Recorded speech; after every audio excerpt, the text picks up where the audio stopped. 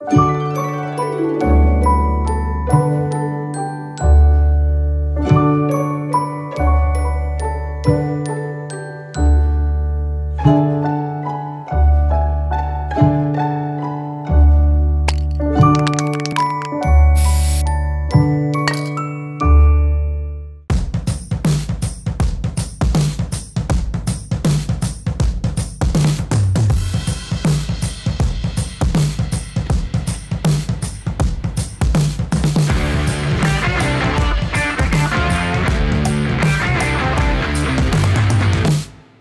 Idag är det den eh, 13 september.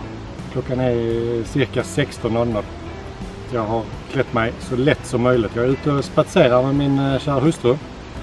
Och eh, jag har hållit på med min diet i en vecka nu, sedan i måndags. Jag hade kanske tänkt dokumentera lite under veckan men det har varit rätt tufft på sitt sätt faktiskt. Jag tänkte jag ska snabbt, jag kommer att lägga första veckans kostschema här nere i, i eh, beskrivningen så att säga. Men jag kan eh, ändå snabbt gå igenom lite enkelt. Dag 1 och dag 2, måndag, tisdag alltså. Då eh, åt jag bananer. Eh, cirka sju bananer per dag utspridda. Kostschemat är upplagt så, så det är frukost, lunch, middag och mellanmål som man då får ta när man vill. Sen resten av veckan, vardagarna, har det varit i stort sett eh, frukost, ett knäckebröd med en ostskiva. Lunch, två stekta ägg och en skiva stekt bacon. Och eh, kvällsmat en av dagarna för att ni ska få hum om eh, den kulinariska upplevelsen. Var det alltså blomkål och kalvsylta. Jag vet inte när det här kostschemat är från. Som jag fick någon kommentar av mina vänner är det här från 30-talet. Vem har kalvsylta hemma i kylskåpet? Bra fråga faktiskt. Jag hade inte det hemma. Jag körde och köpte lite kalvsylta. Men eh, saltad kokt blomkål, det är ju nice va? tycker jag. Eh, eller så är det bara som jag säger nu för att jag ska övertyga mig själv. Sen i fredags, då blev det fest. Då var det eh, till kvällsmat kycklingsallad. Så vi stekte till lite kyckling och så gjorde jag en riktig rejäl sallad utan dressingar och annat såklart. Lite eh, olivolja blev det på men det är mest nyttigt bara. Och eh, ja, sen sket det sig lite kan man säga. Igår, i lördags alltså, då eh,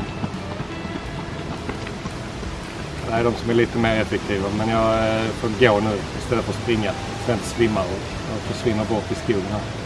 Igår skulle det varit eh, räk räkpåsar, 500 gram räkor och eh, rockfordost av någon anledning. Eh, jag hade tänkt göra så att jag tar räkor på en macka med lite majonnäs istället. Det blir ungefär samma. Sen skulle man få äta en kaka också men det tycker jag bara är onödigt.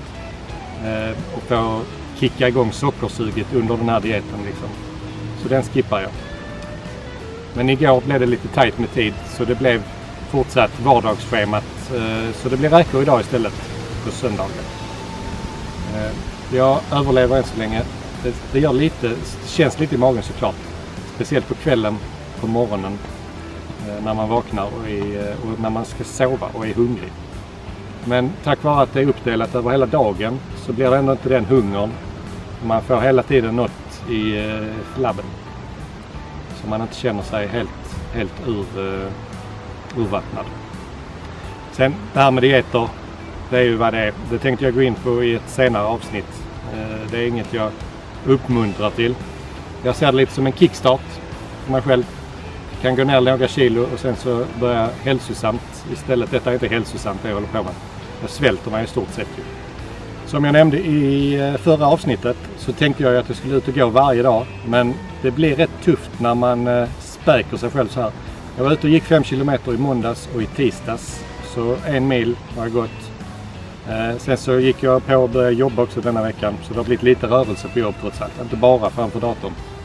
Ehm, och man blir lite trött när man går igång och jobbar efter semestern. Plus att man svälter. Ehm, idag i alla fall är vi ute och går 7 km runda här i Torup, Bokskogen. Och eh, det är rätt härligt faktiskt. Det skulle inte regna. Det kom en liten skur men eh, molnet och jäkligt. Det är höst nu så man behöver inte svettas ihjäl heller. Det är ganska skönt. Mina mål som jag har nämnt innan också.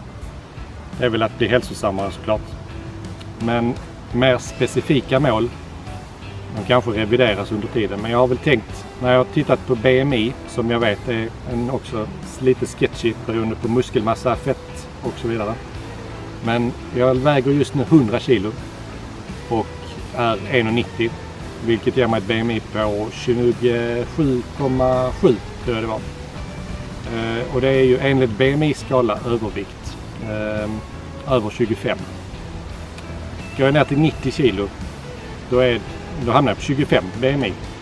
Och då är man ju inom gränsen för normalvikt. Eh, och det är väl 90 kilo jag siktar på faktiskt. Plus att bli hälsosam. Och sen muskler på det så kanske jag går över 90 men då är det ju inte fett utan muskler. Jag har redan lite muskler kvar faktiskt. Sen jag eh, simmade när jag var yngre. Den muskelmassan har inte riktigt försvunnit. Så BMI, ja, ska man eh, ta lite med en nypa salt faktiskt. Då eh, vandrar vi vidare. Jag ska ta en klunk vatten innan vi sticker vidare också. Så eh, får ni ett litet ord av mig när vi avslutar den här rundan också. Det var en riktigt kälen liten vän vi träffade på på vägen också. Riktigt mjuk man han har.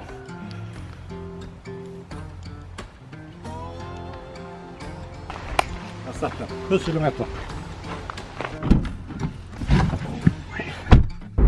På väg hem till Malmö igen. Och eh, jag kom på att jag glömde berätta om en eh, frestelse som jag blev utsatt för igår. Eh, när vi spelade in ett avsnitt, eller vi spelade faktiskt in två avsnitt av eh, Män i grupp podcast. Jakob han hade köpt, köpt massa snacks. Och han berättade dessutom att han tänkte detta kommer Habba gilla. Han köpte fläsksvål, ölkorv, chips sen satt resten av gänget och drack öl och jag satt och drack vatten och jag hade med mig en apelsin och ett träd. Men eh, jag klarade det. Det var det jag åt och drack den kvällen och de andra njöt och allt annat goda. Jag kan säga att mina luktsinnen och eh, smaksinnen just nu, speciellt luktsinnena, förstärks något fantastiskt. Är det någon som grillar eller liknande? Det var jättemånga som grillade här ute i bokskogen. Och eh, jag kunde nog eh, specificera precis vad de hade på grillen, de flesta av eh, de vi gick förbi. Men nu ska vi hem och äta räkor i alla fall. Det ska bli gott.